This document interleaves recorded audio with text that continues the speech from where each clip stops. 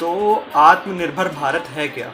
ये एक उम्मीद से भरी हुई किरण है कि जब ये महामारी खत्म हो जाएगी तो हमारे में इतनी क्षमता होगी कि हम इस इकोनॉमी को फिर से रिवाइव कर पाएँगे।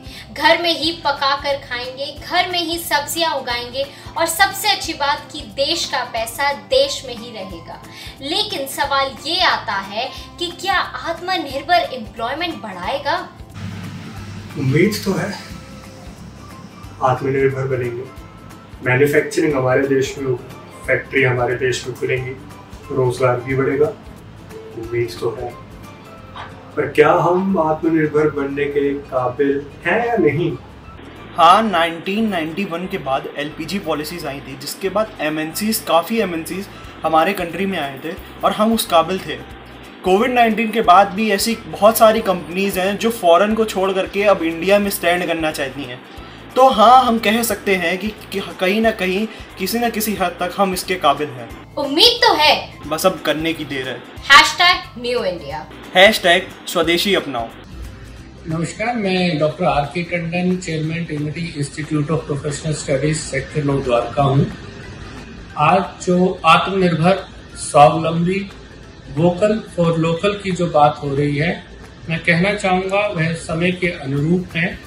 इस समय जब हमारे सभी उद्योग जो हमारी मातृभूमि के ऊपर हैं, वो स्ट्रगल कर रहे हैं अपने सर्वाइवल के लिए। तो मैं आप सबको ये बात अपील करूँगा कि वह प्रोडक्ट्स आप खरीदें जो देश में निर्मित हैं, देश में बन रहे हैं, ताकि हमारा जो उद्योग जगत है, चाहे वो छोटे उद्योग हो जिसे हम लघु उद्योग कहते हैं या बड़े व्यवसायी हों, उन्हें ताकत मिले, उनके प्रोडक्ट्स बिकें, ताकि उसमें काम करने वाले जितने भी हमारे कर्मचारी हैं, उनका वेतन उन्हें मिल सके और जो हमारी इंडस्ट्री इस वक्त इस कगार पे है कि वो क्रैश कर सकती है और दिवालिया घोषित हो सकती है, उसको भी हम परोक्ष रूप से उसका समर्थन कर सकते हैं, उसका सपोर्ट कर सकते हैं। देश में निर्मित और बनी हुई चीज़ों को खरीद कर तो मैं आज के दिन आपसे कहना चाहूँगा कि अगर हमें देश को आत्मनिर्भर बनाना है, स्वावलंबी बनाना है तो हमें वोकल होना ही पड़ेगा अपने लोकल प्रोडक्ट्स के लिए, चाहे कुछ समय के लिए ही क्यों ना हो।